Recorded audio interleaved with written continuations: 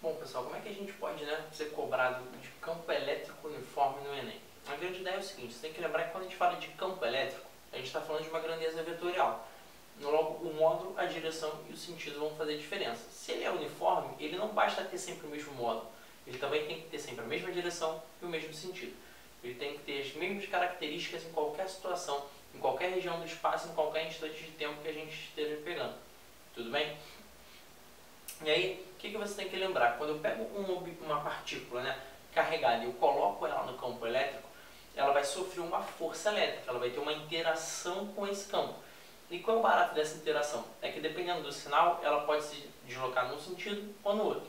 Se a partícula que você coloca no campo elétrico for positiva, ela sempre vai andar, ela vai sofrer a força querendo fazer com que ela se mexa no sentido do campo elétrico, a favor do campo elétrico. Quando a gente pega uma partícula negativa e coloca no campo elétrico, ela sofre uma força querendo andar, só que no sentido contrário, no sentido oposto ao campo elétrico.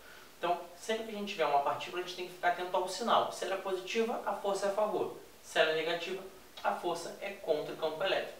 Se for uma partícula neutra, ela não vai sofrer interação, porque o módulo da carga dela é zero, a força que ela sofre também vai ser zero. Tudo bem? Como é que pode aparecer um exemplo disso, né? uma cobrança disso para a gente no Enem? A gente pode ver o seguinte. Quando uma partícula carregada penetra com velocidade V0 numa região onde existe um campo elétrico uniforme E, ela descreve uma trajetória parabólica expressa por y igual a kx ao quadrado. Aí eu fiz aqui um desenho mais ou menos para a gente perceber a nossa partícula entrando no campo elétrico, né, e ela aí no caso as parábolas de movimento que a gente pode pensar que ela vai ter.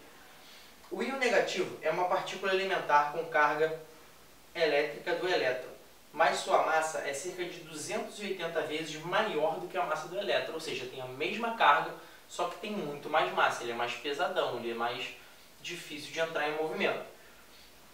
O gráfico que melhor representa as trajetórias de um elétron E e de um íon negativo π, que penetram com a mesma velocidade inicial na região do campo elétrico uniforme da figura E. Então, os dois são negativos. Se os dois são negativos, os dois farão trajetórias opostas ao campo elétrico, né? parábolas, no caso com concavidade para cima. Qual que vai subir primeiro? Né? Pensa o seguinte, a gente tem uma força atuando sobre dois objetos. E aí lembrando da segunda lei de Newton, lembra do F igual a ma? Quanto maior a massa, menor tende a ser a aceleração.